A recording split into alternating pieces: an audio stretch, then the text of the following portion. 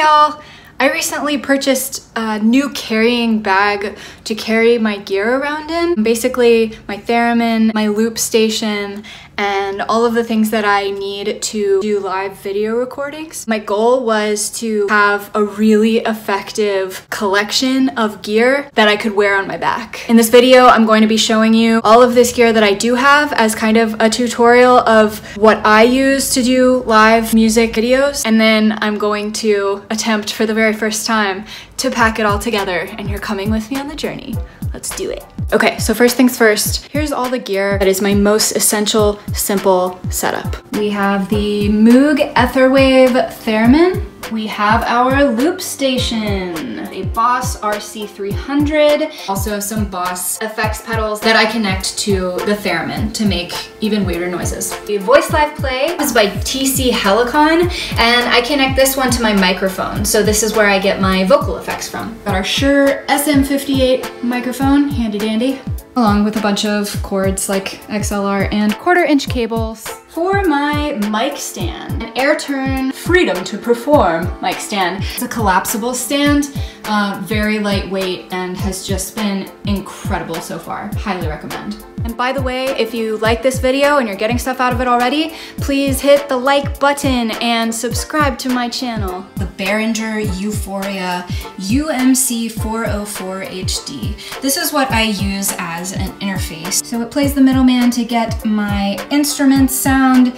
through here and onto my computer when I'm recording. I want to be able to video myself as well, and that's where this nifty little tripod comes in. So I bought this piece individually. It is by Fotopro, and then this is just a regular Sony tripod. So there you have it. That's pretty much all of the gear that I am thinking of taking with me all over the world. So the last thing to show you is the new bag that we are using for the very first time today. Here is the bag by Headrush and Lila. So it has two outer pockets.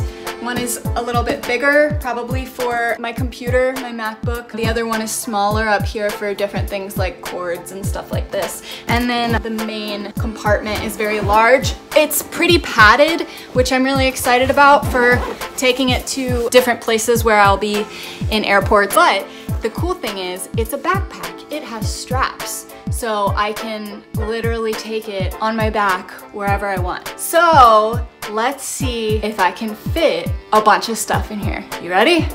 Let's do it. It's the clink of ice cubes and racing storms too quick to catch. It's taking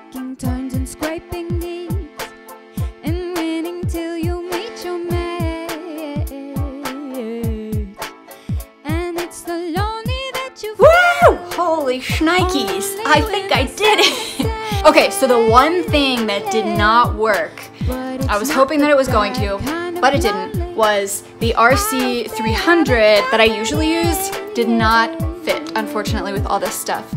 So I anticipated this being a problem a couple months ago and invested in an RC505, which is basically the, the hand version of this foot pedal. It also has five channels instead of three, which is okay with me. So that's what's in here instead. It's also 10 million times lighter. It's about two pounds versus eight pounds, I wanna say. So anyway, let me take you on a tour of my bag. Da, da, da, okay, so under here you see the RC505. You see my theremin hidden away. In this towel, um, there is the antennas of the theremin. Just can never take enough precaution. These are cool foam um, pads that came with the bag. Lovely. And then I just snuck in some of the power cords that I need right up here because I had a little extra room. So there is the main thing and it only opens this way.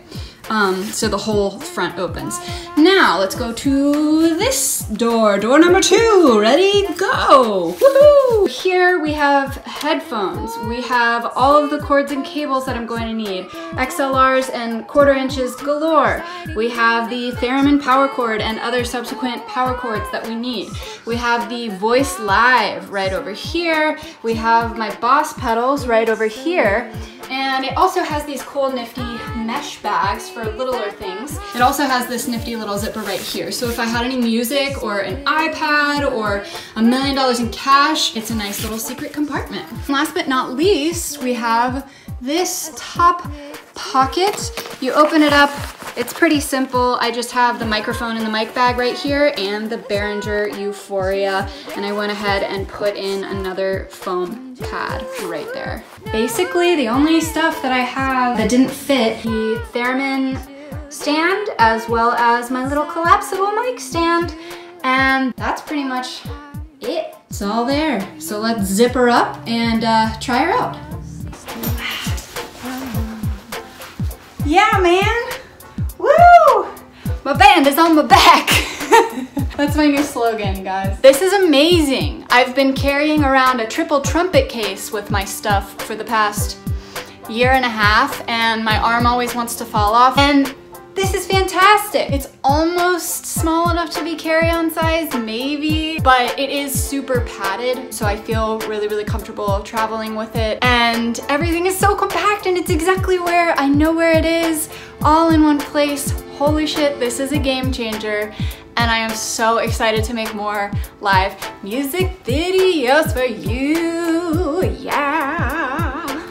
They're not gonna sound like that, they're gonna sound better. Anyway, thank you for watching this challenge that I put myself through. I hope that it was helpful. Please like this video, subscribe to my channel for other videos on music, travel, creativity, and I will see you later.